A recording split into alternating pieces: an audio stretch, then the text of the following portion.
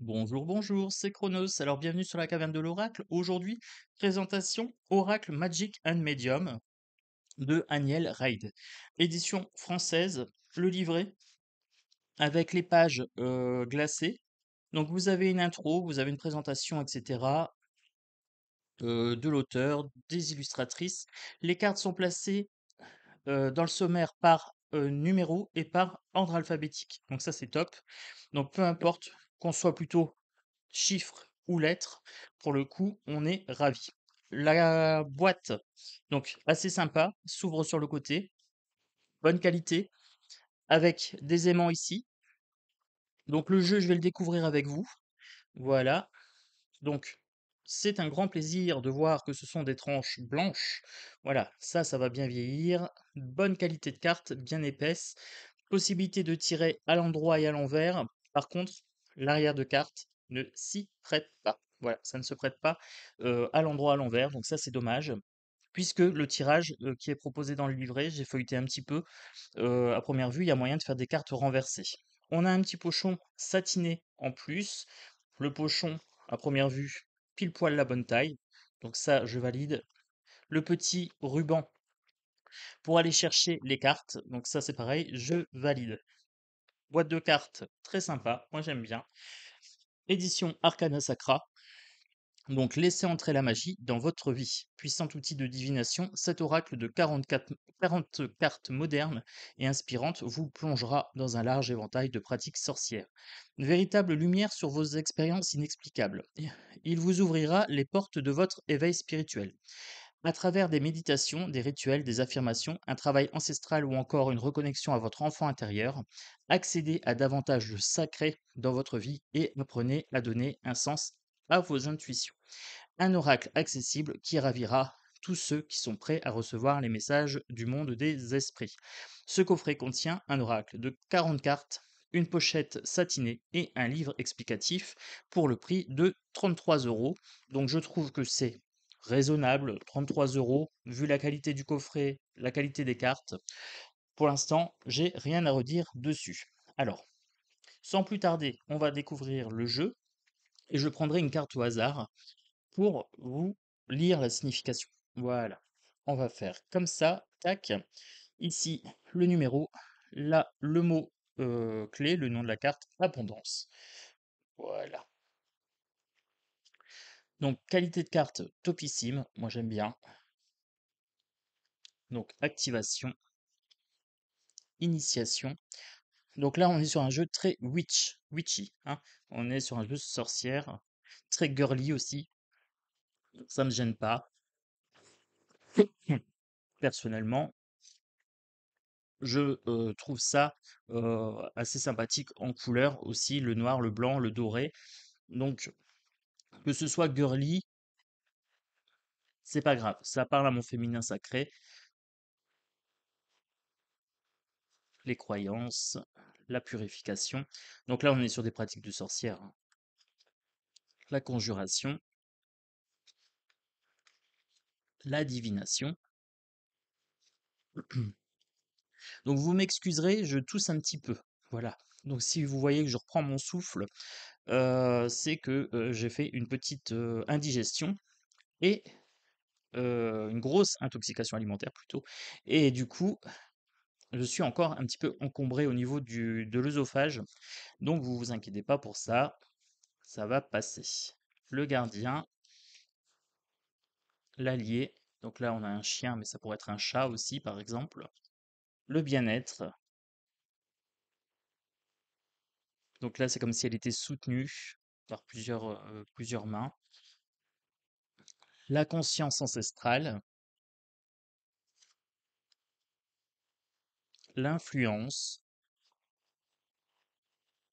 positive ou négative, potentiellement ici une influence qui peut être positive ou négative, l'intellect. J'aime beaucoup ce jeu. J'aime beaucoup les teintes. L'intuition. Donc là, on a un chat avec un troisième œil. On a une sorte de, de lien C'est intéressant parce qu'elle a les yeux bandés. Donc elle voit les choses sans voir. Elle est sur un chemin, elle avance, guidée par quelque chose d'invisible. Donc c'est son troisième œil qui est ouvert puisque ses deux yeux sont fermés. Celle-ci me parle beaucoup. Le voyage. Kitchen Witch, donc la sorcière des cuisines. Les connaissances. Donc ici on est sur les gîtes anciennes. Donc là c'est plutôt sympa aussi. Par contre, je serais pas parti sur cette déesse là, moi par exemple. Mais c'est peut-être un parti pris pour, pour être encore une fois très girly. Ça doit être Isis, la déesse de la magie. mais là, pour la connaissance, du coup, je serais peut-être parti sur, sur Thoth. Voilà. Mais ça aurait fait un personnage peut-être un peu hybride. C'est peut-être pour ça que ça n'a pas été choisi comme ça. Ici, l'apprentissage. Donc, on a une personne plus âgée, une personne plus jeune, une transmission peut-être, une transmission héréditaire. L'écoute,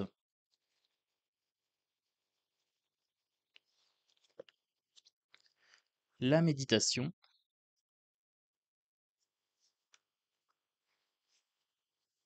la médiumnité, la magie lunaire, le mouvement, la nature, le portail, honorer. Là, on a la triple DS, on pourrait être sur E4 par exemple. La protection, la libération, le respect. Là, vous avez la porteuse de flambeau. Donc ici, par contre, on est vraiment sur la, sur la DS E4. Trois visages et les flambeaux ici la porteuse des flambeaux, des flambeaux la détentrice des clés, hein, la gardienne des carrefours, et 4 ici, déesse de la magie, sommeil,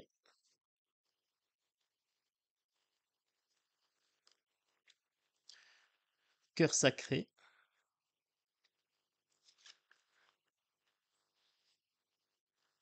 espace sacré, le sacrifice, et la sensorialité. Là, on peut être sur l'esthésie, hein, sur les sens, donc sur les cinq sens. On va prendre une carte au hasard. Donc, au niveau des tailles de cartes, bon bah, ça sera la carte de protection. Euh, la carte de protection, c'est carrément retourné. Donc, pour moi, c'est un signe. Alors, vous savez peut-être que mon état de santé pour l'instant est un peu mitigé. Donc, j'ai rendez-vous mercredi pour en savoir plus et la carte de protection qui sort. Paf. Donc à première vue, message personnel. Protection, carte 33. C'est assez intéressant de voir comment le jeu tout de suite s'est connecté là pour le coup. Alors la carte de protection. Action de défendre quelqu'un ou quelque chose. Les mondes invisibles sont à l'image de notre monde. Certains esprits ne sont pas bienveillants et n'ont pas toujours pour objectif votre bien-être. Les mythes et les contes populaires nous enseignent qu'il existe des esprits malveillants. C'est pour cette raison que la protection spirituelle est importante pour tout praticien. Cette protection spirituelle visant à bloquer toute influence maléfique peut consister en différentes actions. Méditation, bain spirituel, euh, bain spirituel, prière, bannissement, purification ou encore offrande à des divinités ou esprits alliés dans d'autres royaumes. Pour réaliser ces méthodes protectrices et maintenir une hygiène spirituelle, commencez par préserver votre énergie, votre maison, votre lieu de travail, vos biens et vos proches grâce à des opérations magiques. Ces opérations ne se limitent pas à une série d'incantations euh, saintes à saupoudrer du sel ou asperger des lieux d'eau bénite, à dessiner des sigils ou des glyphes de protection, ou à manipuler les plantes, les pierres précieuses. Se protéger grâce à une routine spirituelle. Donc ici, tracez un cercle de protection. Avant toute chose, mettez-vous dans un état de détente accessible par la méditation, l'ancrage ou la musique. Ensuite, déterminez l'espace à encercler pour qu'il soit purifié à la fois physiquement et spirituellement. Le son, l'intention et la fumée sont des purificateurs spirituels reconnus. Pour débarrasser les lieux des énergies que vous ne désirez pas. N'hésitez pas à faire brûler des plantes que vous jugerez purificatrices ou de l'encens. Ensuite, placez-vous au centre du cercle, assis ou debout, et invitez vos alliés à vous accompagner. Vous pouvez même opérer en disposant simplement des cristaux de protection autour du cercle ou en saupoudrant du sel et en aspergeant votre espace d'eau bénite dans le sens des aiguilles d'une montre. Confectionnez un talisman de protection. Pour ce faire, vous pouvez utiliser un objet en fer ou en bois brut, des pierres ou des plantes protectrices ou des symboles de protection qui vous sont personnels. Si vous souhaitez faire simple, songez aux énergies de protection propres à l'objet et confiez-lui sa nouvelle mission. Pour aller plus loin, vous pouvez demander à vos alliés spirituels de vous aider à charger l'amulette. Une fois l'objet dédié à sa nouvelle fonction, vous pouvez le porter sur vous ou dans un petit sac chargé de chasser toute énergie nocive. Alors, moi, à ce que j'en lis, pour l'instant, ça me semble un peu léger, c'est un peu light. Euh, alors, vous allez dire que je chipote. Hein. Très très bonne qualité de carte, etc. Là, la carte de protection, ok. Mais ici,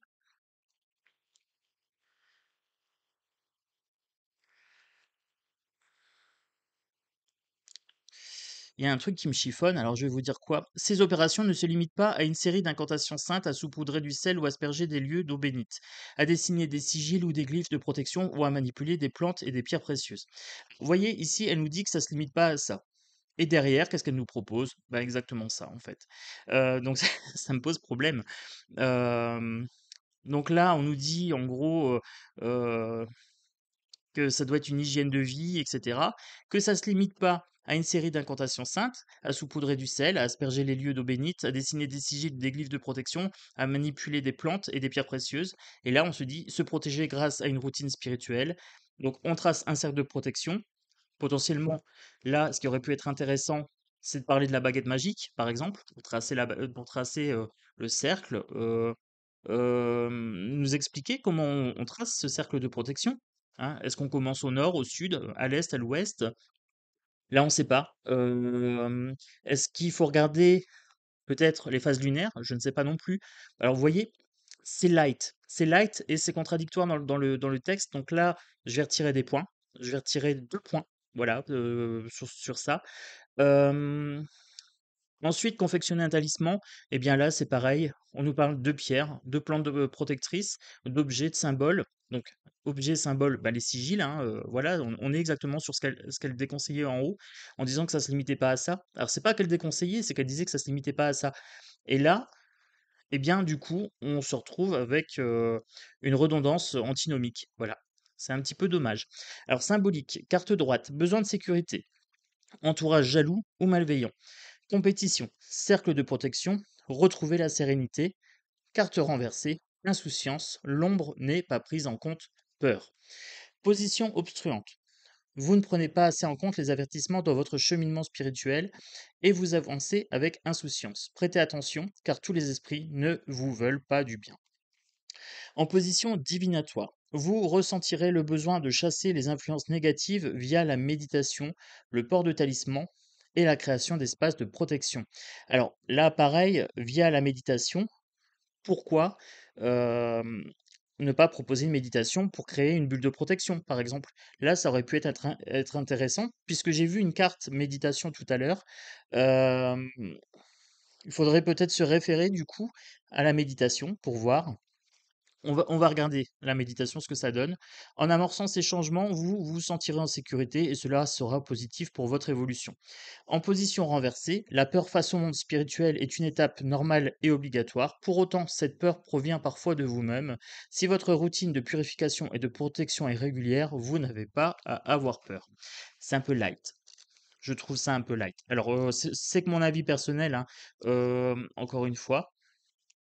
Donc là, moi, je serais sur un 8 sur 10 en termes de contenu.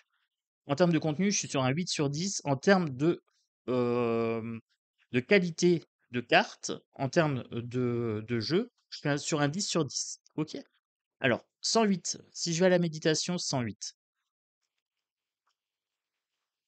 Alors par contre, le sommaire très bien fait, voilà, vous voyez, j'ai vu la carte méditation. Donc si je pars sur la méditation, puisque là on parle de protection et on parle de méditation dedans, mise en pratique d'une profonde réflexion ou de la concentration de son esprit pendant un certain laps de temps, en silence ou en chantant, dans un but religieux ou spirituel ou en guise de méthode de relaxation. Alors, la vraie méditation vous ancre en vous-même par la respiration et affûte votre conscience. Dans cet état, à l'abri de toute distraction et sur un plan, sur un autre plan, vous pouvez être plus réceptif, trouver le calme et la paix. Vous pourriez même entrer en contact avec les esprits et entamer un voyage. En méditant dans diverses positions, vous pouvez provoquer différents états émotionnels, sensations physiques et prise de conscience.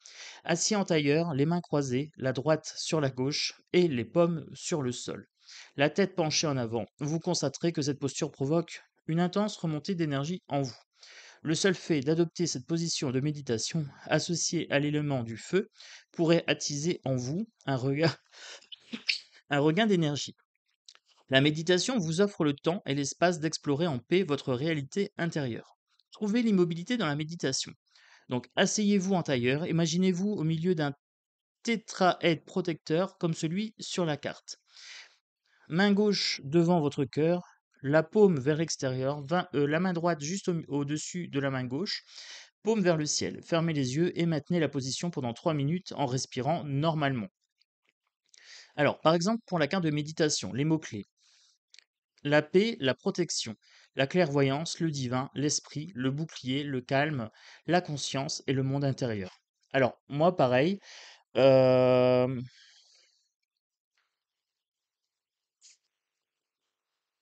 Je suis suis pas emballé par tous les mots. Voilà, il pour moi, il y a un problème. Pour moi, effectivement, la méditation, on est dans la conscience, on est dans le calme, on est dans le monde intérieur. On peut être dans le divin, bien sûr. On peut être en communication avec les esprits, on peut être en clairvoyance. En protection et en paix, oui. Le bouclier, je sais pas.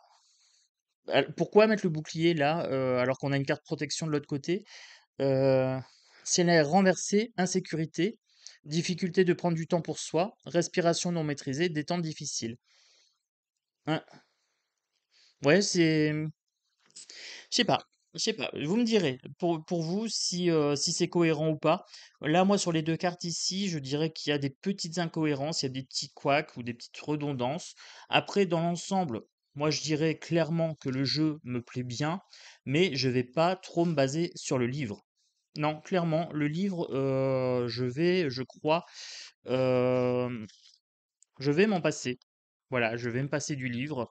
Je vais peut-être le survoler vite fait, mais heu, sans plus. Voilà. Pour le livre, pour moi, je m'en passe. Alors, si je fais un tirage intuitif si je le fais en 3 cartes, ici, en intuitif, il va peut-être plus me parler en intuitif, en fait. Donc en 3 cartes Hop, ça sera 4. Allez, en 4 cartes. Donc ici, si je prends l'astrologie, honorer, le respect et l'attraction. Alors,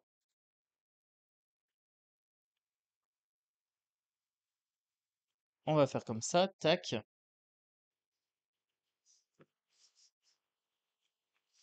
L'astrologie, on pourrait potentiellement ici me parler des phases des phases de lune, vous voyez? Puisque là, pour moi, j'ai le respect, j'ai Hécate. Hécate, déesse euh, lunaire, avec le symbole des phases lunaires, justement. Hein. Donc on a la pleine lune, la lune montante, décroissante, etc. La mort, la naissance et la vie. Mmh. On pourrait me parler peut-être aussi d'aller voir les correspondances par exemple pour le mois de janvier. Là, on est au mois de janvier. Eh bien, astrologie, si je veux faire un rituel, il faudrait peut-être me faire une référence. Voilà. Au mois de janvier, quelle planète, euh, quel signe, etc., quel élément. Avec la carte honorée, on pourrait être dans la carte de la gratitude. Honorer la magie, par exemple. Ou respecter son pouvoir personnel. Donc ici, on pourrait me parler de chanter, on pourrait me parler de faire une offrande. Là, j'ai la carte de Hécate. Tout à l'heure, je vous parlais par exemple des chemins. Alors là, pourquoi pas faire un rituel à Hécate? Alors, déposer une offrande. Là, il y a une offrande qui est faite sur cette carte-là. Ici, on tend quelque chose. on est à un carrefour, déposer une offrande à un carrefour, par exemple pour Hécate, pour honorer les dieux. Voilà, tout simplement. L'attraction pour attirer quelque chose dans sa vie, pour attirer la santé, pour attirer les bons types de relations, des choses comme ça. Donc là, ça pourrait me parler. Vous voyez, si je reste dans mon intuition, dans mes connaissances, ça me parle plus en fait. Donc pour moi, je valide le jeu, mais je valide pas le bouquin. Voilà, le bouquin, c'est bien pour commencer, mais je pense que c'est un petit peu trop léger pour moi. Voilà, je, je le dirais comme ça. Après, ça peut être utile de démarrer avec ce jeu-là, avec le livre, si vous n'avez pas beaucoup de connaissances en termes de magie. Par contre, ça ne sera pas suffisant pour faire vos rituels. Il faudra, je pense, euh, du coup, acheter un petit livre de magie en plus. Voyez? Ou aller vous renseigner peut-être sur Internet pour, par exemple, faire comment faire un cercle de protection, comment créer un talisman. Voilà, ça, c'est pas expliqué dedans. Donc, livre trop léger. Par contre, la boîte topissime, présentation de, de deck topissime, tranche blanche, bonne qualité. Donc pour moi, c'est un grand 8, avec un bémol, à compléter avec des, connaissances supplémentaires. Voilà. Donc, j'espère que cette présentation vous a plu. Vous le savez, hein, moi je fais toujours de façon honnête, je vous dis comme je ressens les choses. Voilà. En tout cas, c'est un jeu qui va pouvoir me servir, par exemple, pour le lundi, pour les tirages magie. Ça peut être utile. Ça peut être sympa, tiens. Ça peut être une bonne idée pour demain matin. Voilà. Alors, je vous fais des gros bisous. On est dimanche, c'est la journée du brunch. Donc, vous le savez, moi, le dimanche, je vais bruncher. Hein. Donc, je vous fais des gros bisous. Je vous souhaite un excellent dimanche. Je ne sais pas si pour vous, c'est comme pour moi, mais il fait froid. Il neige, il neige, les amis. Euh, j'avais de la neige tout à l'heure. Donc, si vous sortez, sortez bien couvert. La grosse écharpe, le bonnet, les petites laines et tout. Moi, je vous embrasse fort et je vous dis très bientôt sur la caverne de l'oracle. Ciao, ciao